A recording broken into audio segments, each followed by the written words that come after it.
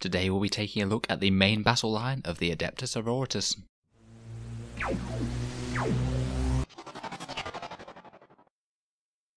Hello and welcome back to Auspex Tactics, the strategy focused 40k channel, where we're all about getting the most out of our miniatures on the tabletop.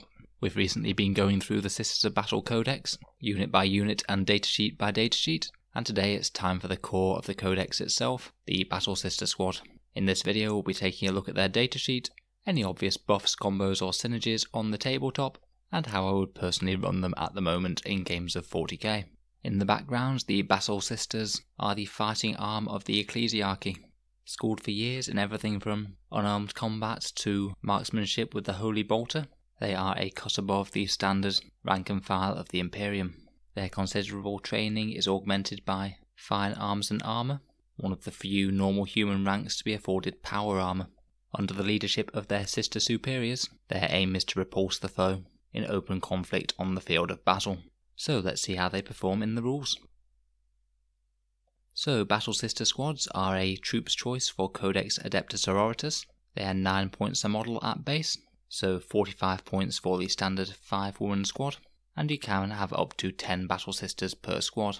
They have a movement of 6, weapon skill of 4 plus, ballistic skill of 3 up, strength and toughness 3, 1 wound, 1 attack, leadership 7, and a 3 plus save and the Sister Superior has the standard Sergeant upgrade of one extra attack and one extra pip of leadership, meaning that the squad will typically be leadership 8. Every model is armed with a bolt gun, bolt pistol, and frag and crack grenades, so at base they are a fairly well survivable squad who'll be quite happy putting out a decent amount of strength for firepower, either at 24 inches or in rapid fire. Being such a cheap squad at base is really good for filling out battalions, and compared with some of their more elite Imperial counterparts such as Space Marines, this means that these Sisters of Battle are very good for getting a lot of command points into a force for a relatively low points cost. The squad has quite a few options. Up to two regular Battle Sisters can take a weapon from the special weapons list, so that's the Storm Bolter, Flamer, or Melter Gun. Out of these three, my default pick will be the Storm Bolter, as essentially the Storm Bolter will just double the firepower for that Battle Sister for just two points, which is a really good deal if you're not thinking about buying another special weapon. Personally, I'm not quite the biggest fan of flamers, just because in the Battle Sisters army you can come by a lot of strength 4 hits very easily, and the range is a bit limiting. I would honestly usually rather have a Storm Bolter than a Flamer, just because of that range flexibility. And also the Storm Bolter is only 2 points when the Flamer is 6 points, though there are some reasons that you take Flamers, such as specific orders or stratagems. A Melter Gun would set you back 14 points, so to be honest is really quite an expensive option. I honestly don't think that melter guns are priced very well at the moment across most of 40k, and to my mind they aren't really the most efficient source of anti-tank. You do need anti-tank somewhere in a sisters list though, and depending on how you're delivering the battle sisters to the front line, they could be one potential option. But frankly, my first choice would probably be to put the melter guns elsewhere in the list, say places like Dominions or Seraphim with Inferno pistols, both of whom are just generally going to be a lot more reliable getting those expensive guns to their target. Instead of one of these special weapons, one of the sisters could also take a heavy weapon, which for battle sisters is either a heavy flamer, heavy bolter, or multi-melter. Now if you do pick up any of these, then you're going to want to actually make good use of it, as they're all quite expensive options. The heavy flamer is 14 points, the multi-melter is 22, and the heavy bolter is the cheapest at 10. Out of these three, my first pick would probably be the heavy bolter, to dish out a little bit more infantry fire, particularly if your Battle Sister squad is thinking about just sitting back and scoring a backfield objective. At least with a longer range weapon, they'll be able to contribute to the game. The multi melter is a bit of a problematic weapon on Battle Sister squads, as it's just very short ranged. They're generally quite slow moving units, and when they do move, it'll only hit on a 4 plus, and it's also very expensive. To my mind, you're probably better off with heavy flamers and multi melters on Retributor squads, because then you can move and shoot the multi melters and also have the benefit of Armorium Cherubs, and your heavy flamers will be longer range as well, meaning that they're far easier to deliver the firepower where you need. The Sister Superior also has war gear options. She can swap her bolt gun for a weapon off either the ranged weapons or melee weapons list, and swap her bolt pistol for one of the pistol weapons. For my taste, the combi weapons are a little bit expensive, but if you are really trying to up all the firepower that you can in one Battle Sister squad, you could certainly do worse than a combi melter or combi plasma. I personally wouldn't usually bother with the melee power weapons, The Power Mace and Power Sword aren't really all that impressive on a Strength 3 model, unless you're going with some sort of order that's great at combat, such as Bloody Rose, in which case it will be a little bit more tempting. For the pistols list, again you could potentially add a little bit more close range firepower to the squad by taking a plasma pistol, or an Inferno pistol, though both of these are relatively expensive and very short ranged. I do quite like the hand flamer for the Sister Superior, as it's just a one point upgrade that if it does ever get in range will actually do a reasonable amount of strength 3 hits. It's certainly not going to change the world in any big way though, so I think it's very much a take or leave type thing. Finally the Condemnor bolt gun, while very cheap, is just a bit rubbish really. Even against its intended target of psykers, it's only as good as two bolters, which isn't exactly very impressive, so I probably wouldn't bother with that unless it's just for looks purposes, because I admit that that gun looks really cool. As an aside, the Condemnor bolt gun is a one point upgrade that functions the same as a regular bolter but just has D3 damage when you target Psykers. In addition to their war gear, the squad can take a Simulacrum Imperialis, the special sigil that allows them to perform an act of faith this turn, even if another unit has already used an act of faith. It costs 5 points, so you do really have to weigh it up against the advantage of taking more sisters. If you're going for small squads without upgrades, I certainly wouldn't bother with this. Perhaps if you are thinking about packing some heavy war gear, particularly melter guns, it could find a little bit more use. In a similar vein, the Incensor Cherub is a 5 point once per battle ability, where you use it at the start of a phase, you roll 2 dice and pick the highest, to be used as a miracle dice, and then it can only be used by this squad this phase as an act of faith. So in theory, you get one auto act of faith that can only be used by that squad, and hopefully the result should be quite high. Could be particularly good if you are blazing away with a melter gun, or rolling a number of shots for a heavy flamer or something. I think that taking both of these does have a bit of a synergistic effect, because then you could have the extra act of faith from the Incensor Cherub, and know you can use it with the Simulacrum. I'd be most tempted to use both of these if I was using it in a 10 woman sister squad, but again, I would really question how worth it they are compared with just having more sisters in the first place. As well as those fancy war gear options, the Battle Sisters have the standard special rules, Acts of Faith to allow them to gain and use miracle dice, and Shield of Faith for the 6 up invul save, and ability to deny on 1d6. So overall, the Battle Sister squad is a flexible, and really quite cheap troops unit with decent survivability and reasonable anti-light infantry damage output, and you have the option to customize them for certain other battlefield roles. So let's take a look at all the various ways that we can get more out of them. Firstly, and most obviously, is the choice of order, and unsurprisingly, as the core troops unit, Battle Sisters get something out of all of the orders, and your order conviction might well determine how you want to set up the squad in the first place. Firstly, our Martyr Lady is really quite a good one for Battle Sister squads. Our Martyr Lady will add plus 1 to hit rolls if the squad has taken a casualty. This is really good in multi-model troops units like the Battle Sisters, and it could make it a bit more worth it to take something like a melter gun or multi-melter. Just as the squad starts to take casualties, you should be hitting on twos unless they are wiped out. The other part of their trait is that you gain another miracle dice every time a squad is wiped, so I sort of feel these two benefits pull you in different directions. The first bit really incentivizes big squads, so the squad is partly damaged but still survives to get the plus one to hit. And the second part incentivizes small squads, because if more squads get wiped, then you get more miracle dice to play with. Either way, it's a decent buff to your standard battle line sisters, so you can't really go too far wrong. Next we have Valorous Heart, with their 6 up feel no pain type saves, and counting AP 1 weapons as AP 0. Between those two, they make the Battle Sister squads significantly more durable, particularly if there's also an Imagifier around to ignore AP 2 rending as well.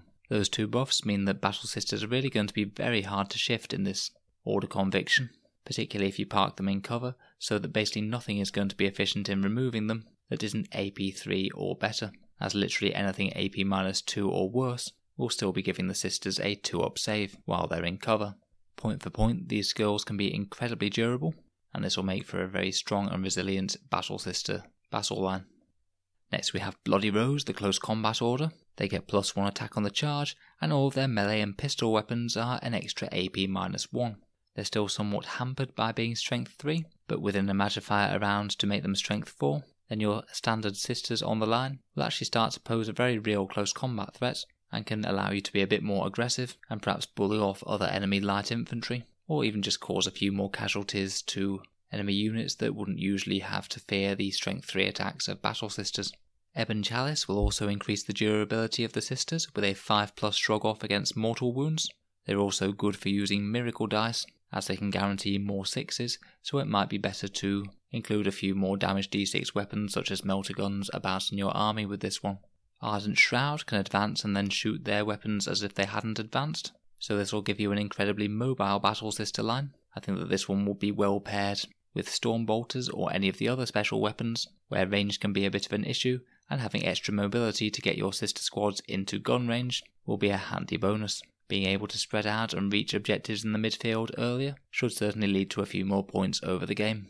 Finally, Sacred Rose offers a trinity of small benefits. Firstly, no more than one model can flee from a morale test, so it makes your big 10 woman sister squads a little bit more viable and less vulnerable to morale shenanigans.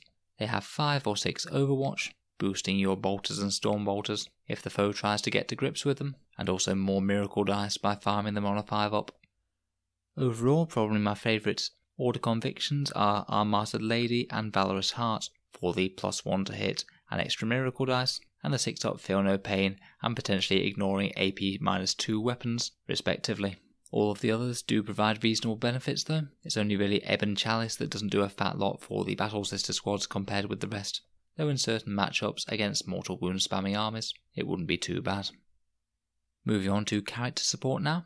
Obviously, if you are equipping them with any extra firepower, then getting canonesses nearby is something that's pretty easy to do. They're cheap, give reroll ones to hit in both melee and ranged, and they're decent units to support virtually any unit in the Sisters Codex. Celestine can buff their invul save to give them a 5 up Shield of Faith special rule, making them significantly harder to shift.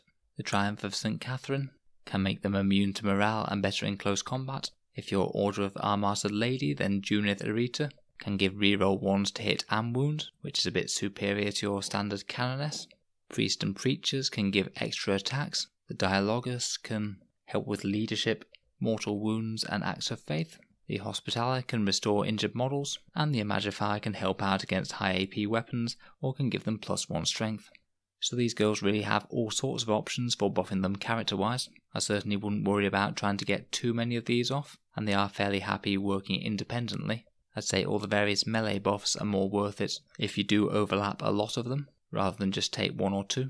In general, my favourite buffing characters for these girls would be the Canoness and the Imagifier, everything else being a little bit more situational or expensive for me. As Adeptus Sororitas infantry, they also get access to the Sacred Rites, which you can either roll for two or pick one. Most of the Sacred Rites are useful on Battle Sister squads. In particular, shooting when you die is useful. Extra AP on sixes is great. The Passion can buff their melee, and the Hand of the Emperor can help them advance. Could be particularly good on an Ardent Shroud sister line there.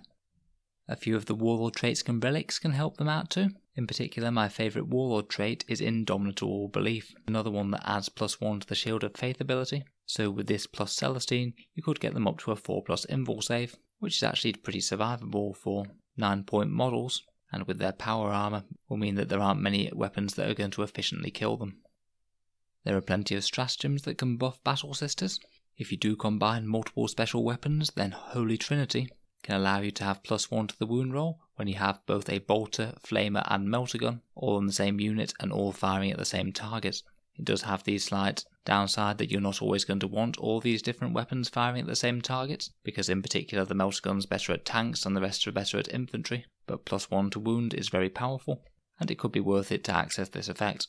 Holy Rage is a useful little movement option, meaning that you can charge even if you're advanced. Could be good for tying up an enemy infantry unit or tank, and maybe getting your battle sisters to an objective. Suffer Not the Witch is always a great option when you're facing psykers. It'll give you a flat reroll on the wound roll, which can put your battle sisters' damage output through the roof. Blessed Bolts is a one command point stratagem to make your Storm Bolters AP minus 2 and damage 2. It's a shame that you can only get two Storm Bolters in the standard Battle Sister squad, but might be potentially useful if you really just need an incredibly good volley out of them and only that squad can do the job. And finally, Judgment of the Faithful is a good one to keep in mind that it's an option, where you use it if your sororitas fall back and then they can still shoot and charge this turn. Could be good at surprisingly getting them out of a jam and then still allow them to deal damage and potentially charge again in the assault phase. Overall though, I probably wouldn't go too mad on using loads of stratagems for your standard battle sisters. Generally you're going to get better value out of the bigger damage dealing units, and I'd just keep these stratagems in the back of your mind for special occasions, and use the bulk of your stratagems on your heavy hitters. So how would I actually field a Battle Sister squad in a game of 40k then? For me there are kind of two routes that you can go down. As my standard default option, I'd usually run just multiple small units of Battle Sisters, and take two Storm Bolters for the two special weapons. That'll give you a 49 point sister squad that's cheap and cheerful, will fill out battalions really easily, and put out a decently efficient amount of bolter fire. These guys definitely compete decently versus the other troops running around in 40k. Having a 2 up save against small arms when they're in cover is a really good advantage of sister squads, and I can imagine a bunch of small units like this on objectives being incredibly annoying to deal with. For these girls, I'd have them operate fairly independently. I'd be wanting to send groups of them after specific objectives to try and get down and secure them with their objectives secured, to chip in their firepower against enemy light infantry, and provide cheap screening speed bumps against enemy heavy hitters coming in, keeping your really valuable units protected behind them. The other way that you could go would be to create some sort of battle sister cattle with overlapping buffs from a bunch of different characters, making them a lot more survivable and potentially a fair bit more damage dealing. In particular, if you had Celestine and the Warlord trait Indomitable Belief, you would be having 4 plus invul saves on all your nearby sisters, and you could also combine that with the Imagifier to ignore AP minus 1 AP, meaning that basically no weapon in the game is going to be particularly efficient at shooting them due to all of those overlapping defensive buffs. With this one, I'd be more tempted to field 10 sister units, because then with bigger units, it's a lot more easy to chain more models back and get into auras, while also fanning out to create board presence. You could also potentially combine this with Valorous Heart to give them a 6 up Feel No Pain and ignore AP minus 2 as well, making them just ridiculously survivable for toughness 3 models, or perhaps Bloody Rose, and create a massive synergy of melee buffs, throwing in things like Preachers and Priests, Imagifiers for plus 1 strength, and maybe using the Sacred Rite that gives you extra attacks on 6s. I think that this second way requires a fair bit more thought, but could create a good armoured core of Battle Sisters to try and dominate the midfield of the board, particularly when they're supported by some fighty characters or maybe some other heavy hitting elements. As well as these two standard ways, I could see you having a few dedicated backfield sister squads for scoring home objectives, perhaps just buying in a storm bolter and a heavy bolter, sitting in cover on a home objective and blazing away at the enemy all game long. In terms of comparisons, obviously the Battle Sisters have no counterpart in their troops slot in the codex, so you are going to need them to generate those command points from battalions to use all those fun stratagems. But in terms of damage dealing units, you would have to weigh them up strongly against other units. If you're looking at Battle Sisters as damage dealers, you're probably better off using Celestians. They only cost one point more, and instead of getting reroll ones from the Canoness, they get full rerolls to hit. This is going to make them massively more efficient damage dealers than your standard Battle Line Sisters. So if I was going for a core of Battle Sister squads with overlapping auras, I'd be very tempted to take them instead. Having an additional attack each is also not a bad bonus. If you're looking at Battle Sister squads to deliver special weapons or heavy weapons, I'd certainly think about whether you want to be using those special weapons in Dominions or the heavy weapons in Retributors, as both of those squads have their own unique advantages for fielding those weapons. Overall, though, I do like the standard Battle Line Sister Squad. They're a solid, flexible troops choice, and they won't feel like too much of a tax for filling up your battalions and earning you the command points. Let me know your thoughts down in the comments below if you've had any particular success with fielding Battle Sisters in one particular loadout or way of using them. It'd be good to get some more first hand experience. Thanks for listening to another Auspex Tactics video. I will certainly be continuing with the analysis of the Adeptus Sororitas Codex in future videos, so feel free to subscribe if you'd like to see more. I also do have a Patreon page. If you are enjoying my videos, feel free to leave any support you'd like there, as I would like to make this a bit more of a full-time thing that I do, rather than just a hobby I do in weekends and evenings. Thanks again for listening, and I'll hope to see you guys next time.